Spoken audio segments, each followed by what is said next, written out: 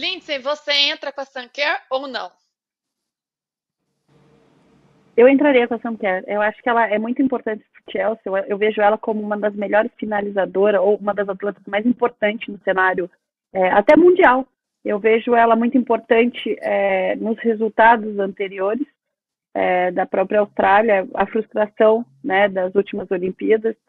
É, eu entraria porque é, é, uma atleta que sabe fazer gol, é uma atleta que a gente vê aí poucas é, atualmente é, é, fazendo gol ou chamando a responsabilidade, como ela chama, no próprio Chelsea, né? Então, a, a, a final da Champions, tudo isso.